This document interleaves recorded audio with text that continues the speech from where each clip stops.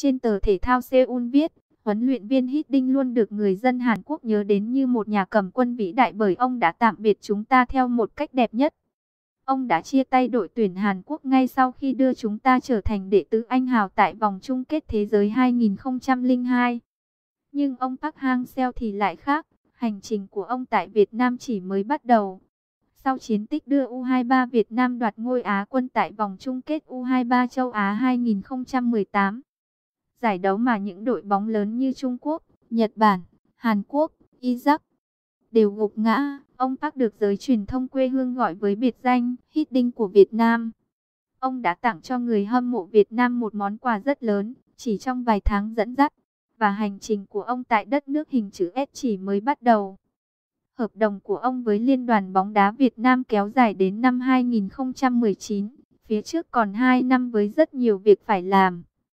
Ngoài dẫn dắt U23 Việt Nam, ông Park còn kiêm nhiệm cả đội tuyển quốc gia. Trước mắt, họ sẽ tham dự ASEAN vào tháng 8 tại Indonesia. Sau đó là AFF Suzuki Cup vài tháng 11. Tờ báo này nói về tương lai tươi sáng phía trước của thầy Park và bóng đá Việt Nam. Đây là đấu trường quan trọng nhất của Việt Nam. Họ mới chỉ một lần vô địch vào năm 2008. Tại giải đấu này họ sẽ phải đối mặt với các đối thủ nhiều duyên nợ như Thái Lan và cần phải tạo ra sự khác biệt. Người hâm mộ Việt Nam chắc chắn sẽ tiếp tục mong chờ phép màu. Tờ này nhận định, người Việt Nam hiện đang rất kỳ vọng vào ông Park. Họ hy vọng ông sẽ đưa Việt Nam vào top 100 thế giới như lời hứa khi nhậm chức và chinh phục những đỉnh cao mới. Thật sự nếu Việt Nam không thể giành chức vô địch AFF Cup, họ sẽ rất thất vọng. Ông Park hiểu điều này hơn bất cứ ai khác. Dù có không ít khó khăn, nhưng tương lai của đội tuyển Việt Nam rất tươi sáng với những cầu thủ trẻ chất lượng.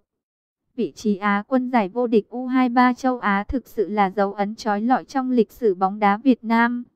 Nếu các cầu thủ U23 nước này được đầu tư thành những trụ cột chính, đội tuyển Việt Nam có thể sẽ trở thành một đội bóng đáng sợ, đủ sức thi đấu sòng phẳng với những ông lớn của châu Á.